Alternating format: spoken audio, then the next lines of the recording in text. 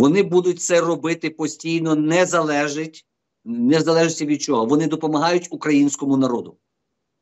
Не владі, не президентам, не Єрмакам, там, не не, не Шмигалям там, з кулебами і так далі. Вони допомагають українському народу, тому що саме український народ чинить супротив.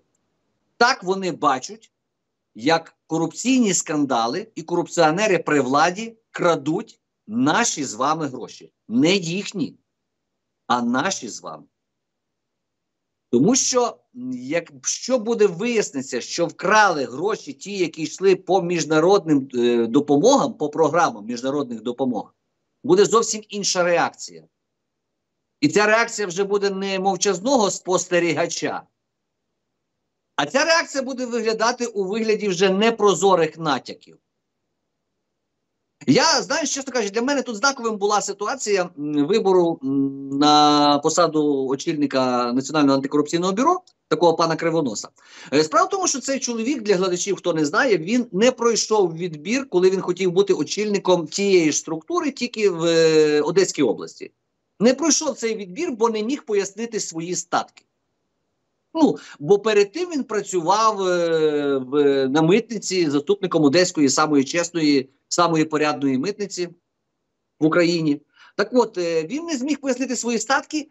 Після того працював в архібудконтролі, і зараз на цьому конкурсі, де три представника українці, а три представника від наших західних партнерів. Два європейці і один американець.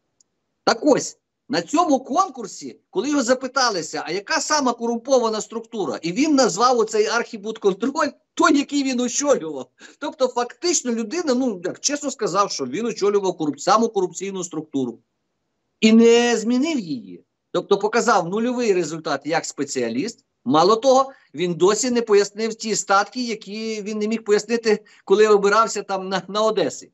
Розумієте? Так от в цьому всьому контексті все рівно проголосували за нього і західні партнери, які мали в принципі блокуючий голос, все рівно це зробили.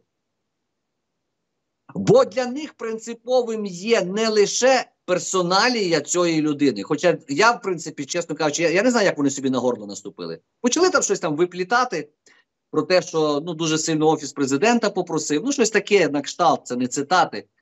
Чесно кажучи, то чим вони відрізняються від наших корупціонерів? Тим, що це зробили по проханню за безплатно? Ну, наприклад, так? Керівники країн, уряди країн, які нам допомагають, вони це теж бачать і розуміють, що в них в країнах теж є корупція. Ми знаємо розслідування, які сьогодні, наприклад, пов'язані з Трампом.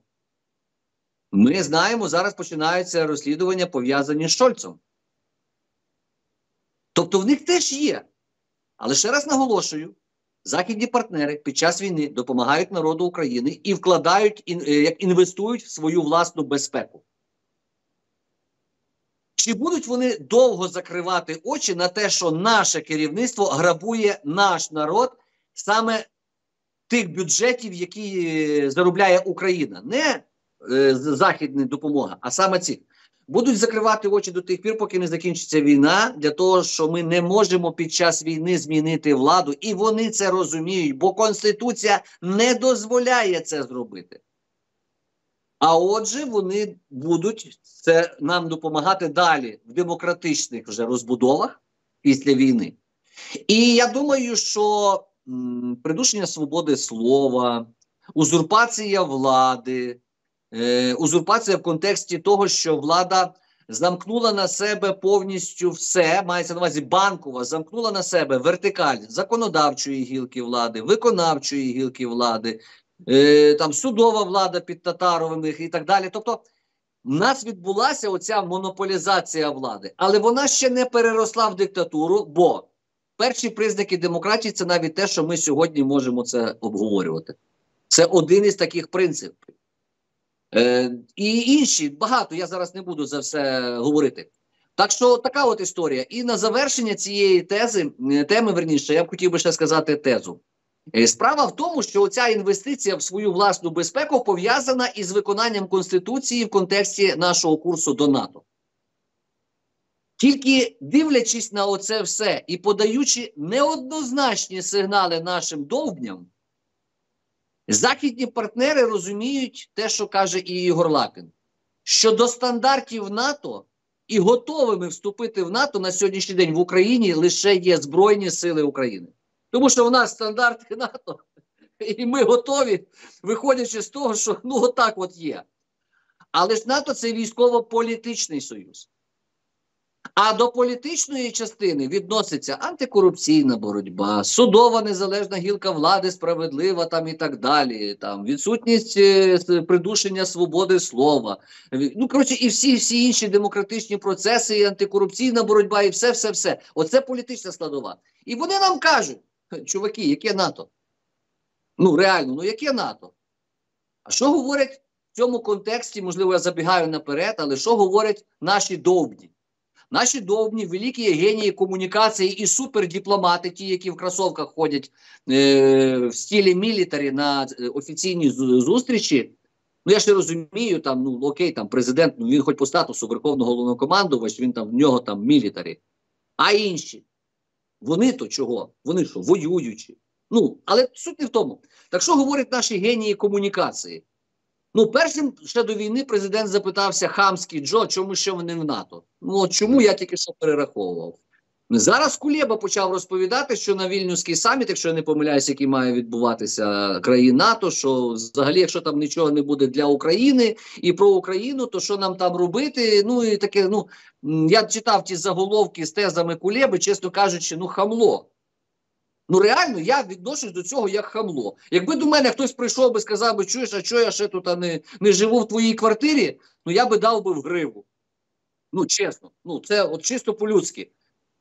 Вони, на жаль, не навчилися розуміти дипломатичні сигнали, коли їм тицяють, наприклад, розслідування по м, ФСБшним агентурі в Офісі президента тому числі через призначення через Баканова е, от этих е, ФСБшних агентів, які під за підписом президента Зеленського призначені.